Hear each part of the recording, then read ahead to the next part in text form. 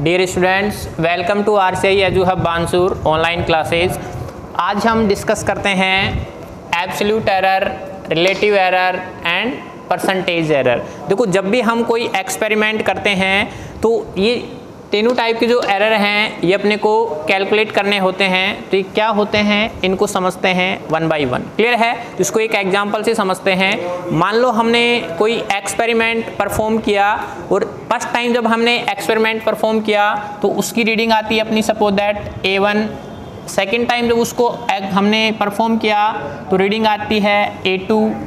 Third time किया तो आती है ए थ्री। ऐसे हमने उसको एन टाइप एन टाइम हमने उसको परफॉर्म किया तो अपनी रीडिंग आती हैं A one A two A three dot dot dot A N reading आती है। क्लियर है कि नहीं? अब क्वेश्चन ये है कि इसमें से सही वैल्यू कौन सी है? किसको हम सही माने? तो देखो, सही हम इनका एवरेज निकालते हैं या मीन निकालते हैं, उसी को हम ट्रू वैल्यू कंसिडर करते हैं। क्लियर है? तो इन सब का हम मीन निकालेंगे। मीन वैल्यू या ट्रू वैल्यू जिसको हम कहते हैं और ट्रू वैल्यू उसको हम लिखेंगे ए एम से मीन एम फॉर मीन तो देखो मीन कैसे निकालेंगे? सबको ऐड कर देंगे और जितने भी ये टर्म्स हैं, उतने से डिवाइड कर देंगे। तो देखो, सबको ऐड करते हैं A one plus A two plus A three plus जितने भी हैं, सबको हम ऐड कर देंगे। यहाँ पर एन है। और डिवाइड कर देंगे एन से, जितने भी टर्म्स हैं ये, ठीक है? जैसे पाँच होते हैं तो पाँच से डिवाइड कर देते ओके ये आ गया इनका मीन अब ये वाली जो वैल्यू आएगी, इसको अपने को ट्रू वैल्यू मानना है। क्लियर है? अब हम बात करते हैं एब्सोल्यूट एरर रिलेटिव एरर और परसेंटेज एरर के बारे में। देखो, सबसे पहले बात करेंगे एब्सोल्यूट एरर के बारे में। एब्सोल्यूट एरर तो एब्सोल्यूट एरर जो होता है, ये मीन वैल्यू और जो मेजर्ड वैल्यू होती हैं, उनका जो डिफरेंस होता है एब्सोल्यूट एरर तो ये होता है difference between true value and measured value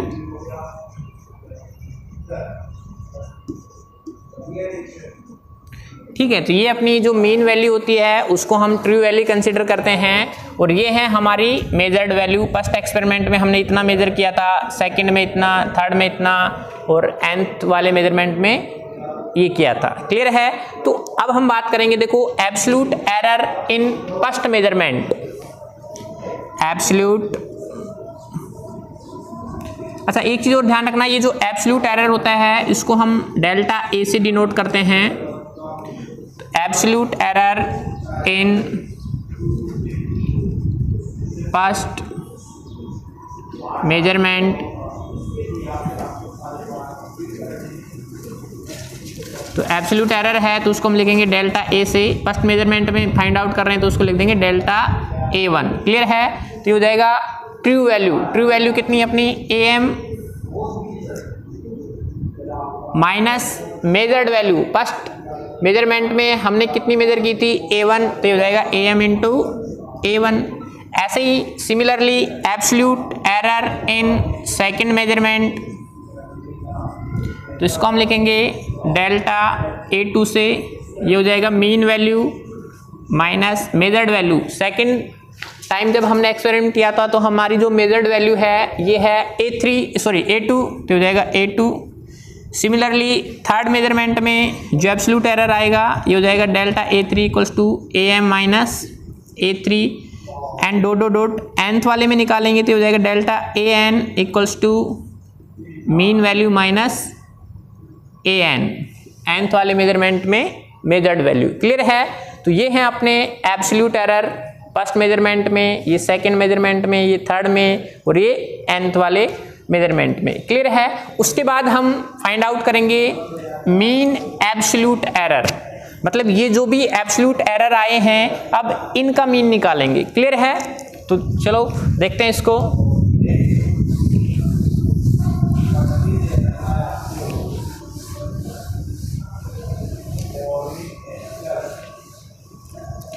तो बी है अपना mean absolute error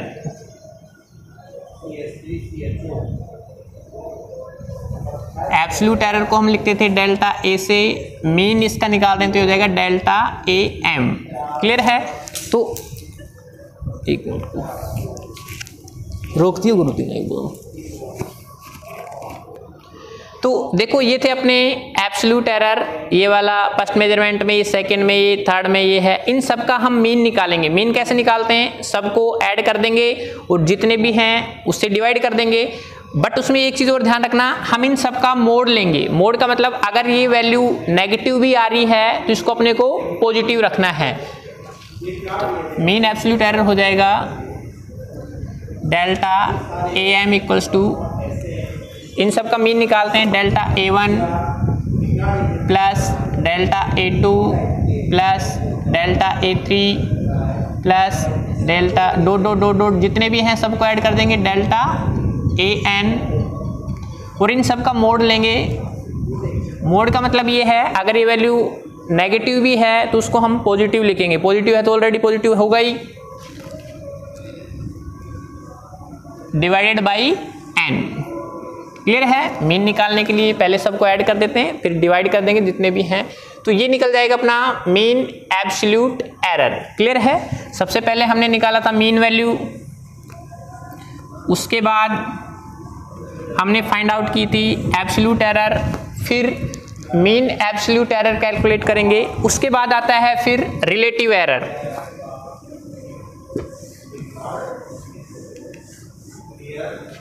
relative error. इसको हम फ्रैक्शनल एरर भी बोलते हैं।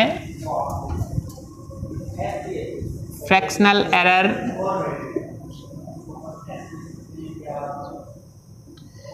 क्लियर है? तो देखो, फ्रैक्शनल एरर या रिलेटिव एरर होता है। इसको हम डिफाइन करते हैं। It is the ratio of mean absolute error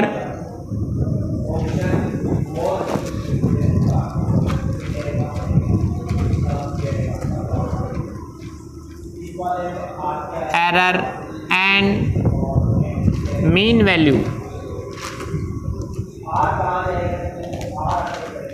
ये जो मीन एब्सोल्यूट एरर आया था अपना डेल्टा ए एम और जो मेन वैल्यू थी ए एम दोनों का जो रेशियो होता है, उसको हम कहते हैं रिलेटिव एरर क्लियर है? तो फॉर्मूला हो जाएगा देखो रिलेटिव एरर का।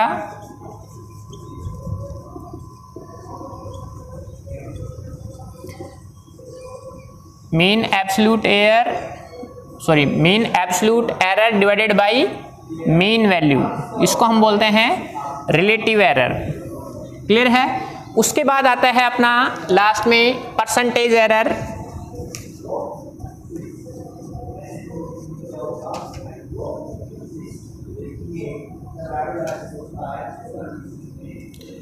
देखो परसेंटेज एरर क्या होता है? रिलेटिव एरर को जब हम परसेंटेज की फॉर्म में एक्सप्रेस करते हैं तो उसी को हम बोलते हैं परसेंटेज एरर तो देखो कैसे लिखेंगे? ये रिलेटिव एरर है अपना उसको हम परसेंटेज की फॉर्म में लिख लेंगे। देखो परसेंटेज फॉर्म में लिख सकते हैं हंड्रेड परसेंट हंड्रेड परसेंट का मतलब होता है वन तो इसको हमने परसेंटेज की फॉर्म में लिख दिया तो यही बन जाएगा परसेंटेज एरर वैल्यू पुट कर देंगे रिलेटिव एरर की। डेल्टा ए एम अपॉन में A M into hundred percent तो ये बन जाता है अपना परसेंटेज एरर एक चीज़ और ध्यान रखना, जब भी हम एरर को लिखेंगे तो उसको प्लस और माइनस में लिखेंगे।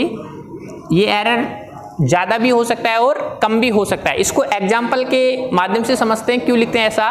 जैसे सपोज़ दैट आपसे किसी ने पूछा कि भाई, जयपुर से और दिल्ली की डिस्टेंस कितनी है बताओ? तो आप कहते हो कि ये लगभग ये जो डिस्टेंस है, ये 300 किलोमीटर है।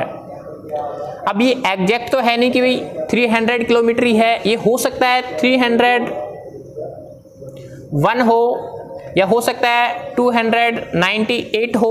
तो इसलिए हम इसको जब लिखेंगे distance between Jaipur and Delhi तो इसको हम इस टाइप में लिखते हैं।